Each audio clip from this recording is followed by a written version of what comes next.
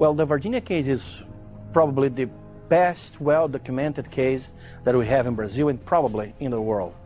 Yeah, you know that uh, over 80 witnesses came forward, first-hand witnesses came forward during the first weeks, and they are still coming after it happened.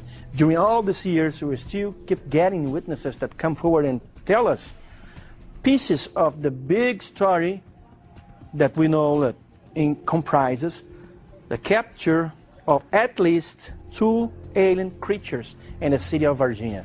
We know for a fact, because we have it all documented, plus the witnesses have confirmed and cross-confirmed that one alien was captured in the morning of that day, which was a Saturday, about 10.30, by a fire department and uh, some personnel from the army. Another creature was seen at the same day by middle afternoon by three girls. It was them who called attention of all the city to the fact that strange creatures have been seen. Because when the first one was seen and captured in the morning, it didn't draw too much attention. But at the afternoon, when the girls saw another creature and then spread the word to everybody, we saw the devil, that's what they thought they saw. That night of the Saturday, January 20, 1996, that second preacher, probably the same one saw by the girls, was also captured by a police troop, a police car, actually a military police car with two policemen inside. The one who was sitting in a passenger seat was Marco Eli Chereze, and he was lucky enough to be the one who spotted the creature and grabbed it with his bare arms, bare hands, got back to the car, put the creature in his lap, and took to the hospital. 25 days after that, he died on February 15 of some bacteria attacks, proving that his immune, immune deficiency, deficiency system was absolutely destroyed. And uh, army personnel and authorities kept it all secret for lots of time until the UFO researchers started protesting along with the press, and we did so much pressure that eventually information was released about it. One o'clock in the morning, when my wife noticed a bright light shining outside. I rushed out, wondering what it could be.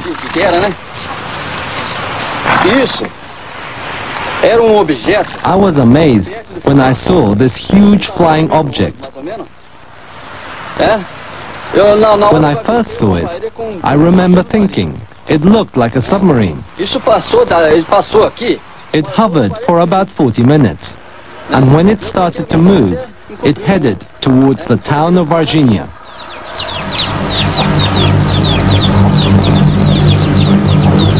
Só para os senhores poderem pegar a cronologia dos fatos. Porém, tem um outro detalhe muito importante.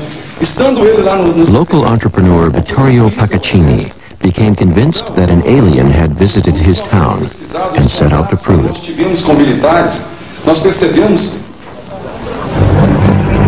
The story starts in this quiet neighborhood. Three young girls were returning home from school. They suddenly saw a strange creature against the wall. The creature was this way. So they were just passing here, they saw that thing, and then when they screamed, the creature did like this and looked at them. They thought it was the devil because they had any, they didn't have any reference. So they ran away and got home and told their mother, we saw the devil. I've never seen anything so scary. I was completely shocked. Valquíria started running immediately, but I seemed to be paralyzed for a moment. Finally, I started running up the street towards our house. What first amazed me were its eyes, its veins that stuck out, and its feet with three toes. It had bright red eyes, and its skin looked like green leather. It was shocking. Neighbors alerted the fire department.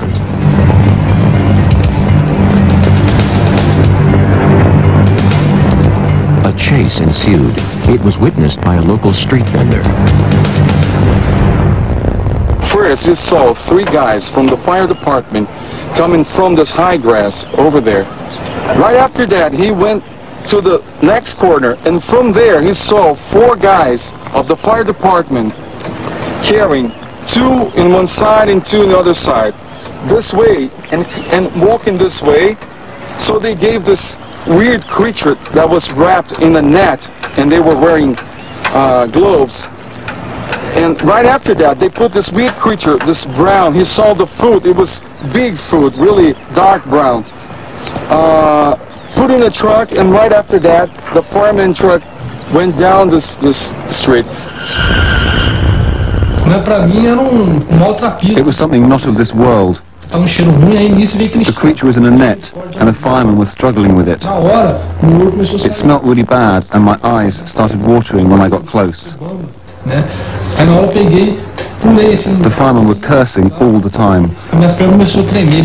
Né? Another witness saw suspicious military activity in a forest nearby. He saw seven soldiers from the army school of Três Corações, Three Hearts, walking in line, going into the forest with war rifles. Um, some seconds later, he heard three shots. Right after that, the soldiers came out of the forest holding canvas bags in, with something inside. In one of the canvas bags, uh, something was was moving inside. The other one, nothing was moving. So we we think that the, the the army didn't send a troop here to hunt rabbits or skunks. So something was going on inside the forest. In the forest, soldiers were allegedly chasing another alien creature.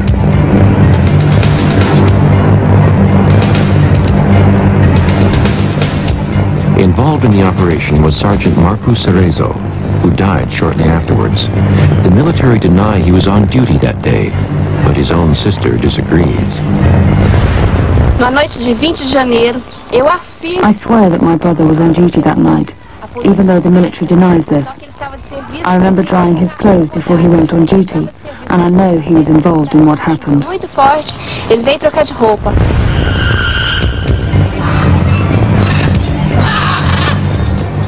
Local zoo, the animals became restless. They seemed to sense a strange presence. A woman was sitting alone on a veranda overlooking the zoo. It was about 9 o'clock in the evening. Well, she smokes a lot, so she decided to come to the porch to have a cigarette because she didn't want to bother people with smoke. So she took, she, she took a chair, sat down right here. All of a sudden, right behind that metallic green fence, this weird creature just appeared and started looking at her, really staring at her. It was about seven minutes. She couldn't move. She stood still. Mas achei muito It was really ugly, assim, um olho muito vermelho, grande, with big, bright red eyes, rasgada.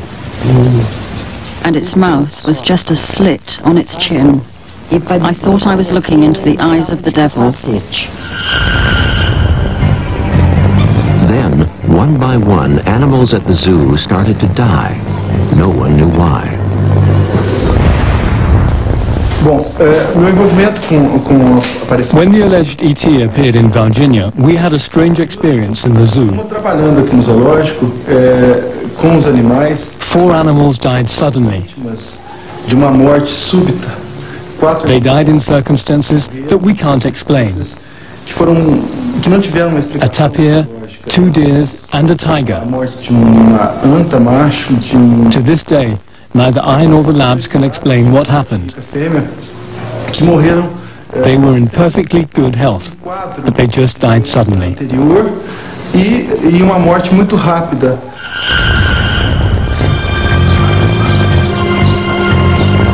Eyewitnesses say the firemen took the creature to the local hospital under cover of night. But there the trail dries up. Rumors spread rapidly that the creature had been snatched from the hospital by the military. But everyone refuses to talk.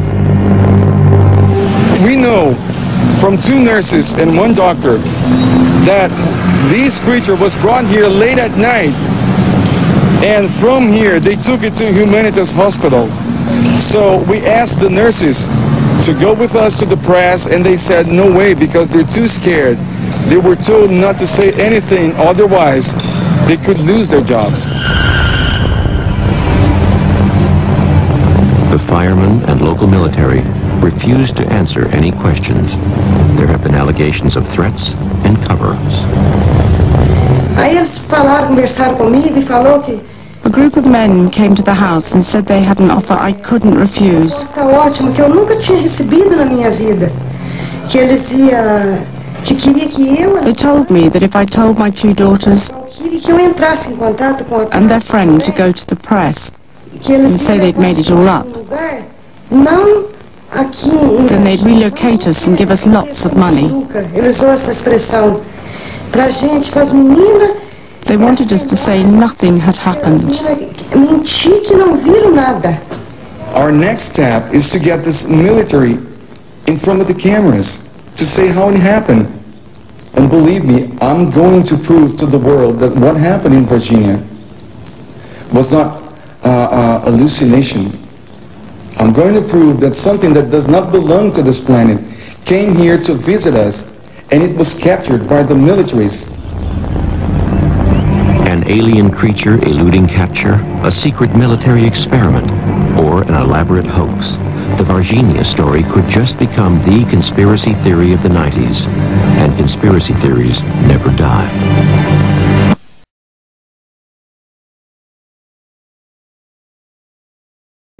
Two alien creatures in the city of Varginha. We know for a fact because we have it all documented, plus the witnesses have confirmed and cross-confirmed that one alien was captured in the morning of that day, which was a Saturday, about 10:30.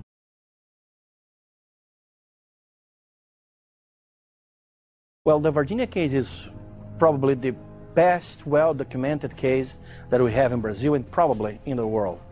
Yeah, you know that uh, over 80 witnesses came forward, first-hand witnesses came forward during the first weeks, and they are still coming after it happened.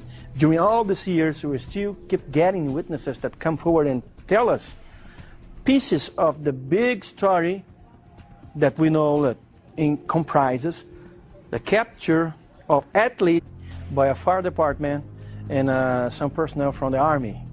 Another creature was seen at the same day by middle afternoon by three girls. It was them who called attention of all the city to the fact that strange creatures have been seen. Because when the first one was seen and captured in the morning, it didn't draw too much attention. But at the afternoon, when the girls saw another creature and then spread the word to everybody, we saw the devil, that's what they thought they saw. That night of the Saturday